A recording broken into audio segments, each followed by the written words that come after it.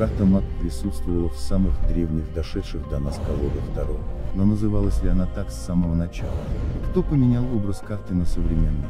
Давайте разбираться. И не забудьте подписаться на канал и поставить лайк. Вот так выглядит карта МАК из колоды Висконти Сфорца, самая первая из дошедших до наших дней колод Таро. Подробнее об этом мы говорили в другом видео. Кому интересно, посмотрите по подсказке в правом верхнем углу. Но вот вопрос, называлась ли она тогда МАК. Как считается, изначально именно карта МАК шла под номером 1 в старших арканах. То есть она открывала колоду Таро, а закрывала карта Шута. Поэтому Папюс в 1889 году в своей книге «Цыганское Таро» помещает мага на первое место в своей колоде.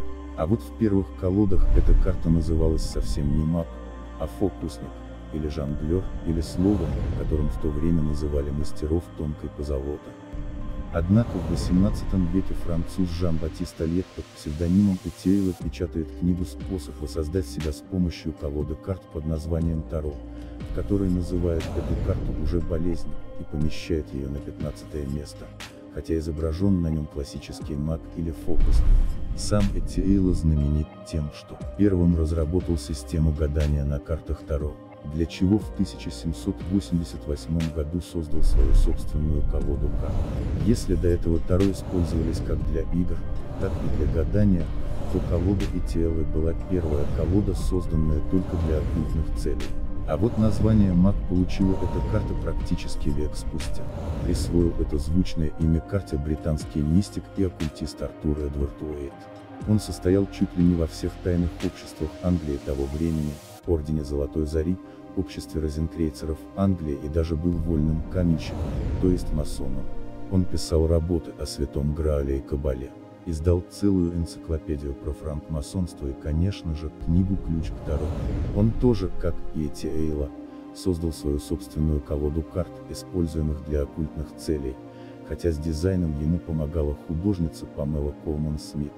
Вот она сама в образе гадалки с той самой колодой карт на столе.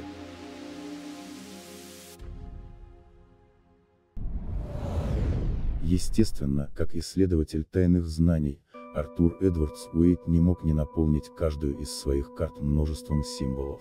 Карта мага не исключение. Например, на поясе мага находится пряжка в виде змеиной головы, таким образом пояс – это Ураборос, то есть змея, кусающая свой хвост. Это один из древнейших символов, известных человечеству. Его изображение можно найти и в Древнем Египте, и в Древнем Китае, и даже у ацтеков а над головой мага мы видим знакомый нам по математике символ бесконечности, или говоря алгебраическим языком, лемнискату с двумя фокусами. Математический знак бесконечности нередко в мистике отождествляют все с той же змеей с хвостом во рту. На столе, а точнее алтаре перед магом предметы, символизирующие и масти карт Таро, и четыре стихии одновременно. Жест мага, также наполнен смыслом. Поднятая вверх правая рука и опущенная вниз левая символизируют нисхождение божественной благодати с небес на землю, посредником между которыми является человек. И даже желтый цвет фона карты означает божественное присутствие. Название маг возникло тоже не случайно. Именно так называли жрецов в древнем Иране, изначально в Медийском царстве, а позже в Вавилоне и Персии. После распространения зороастризма магами стали называть жрецов этой религии. Более того, в евангельских первоисточниках магами названы Каспар, Мельхиор и Бальтасар, пришедшие поклониться новорожденному Христу. Так что если бы не особенности перевода, то русское поклонение волхвов вполне могло называться поклонением магов.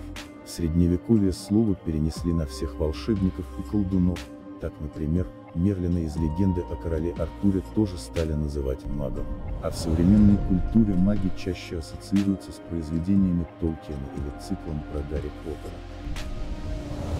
Итак, эта карта меняла свое название от фокусника до мага. Ее положение в колоде менялось со временем кардинальным образом.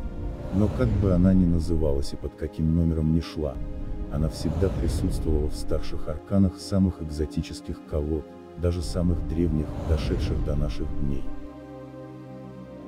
Продолжение истории Таро смотрите в следующих выпусках. А чтобы не пропустить, подписывайтесь на канал и жмите на колокольчик.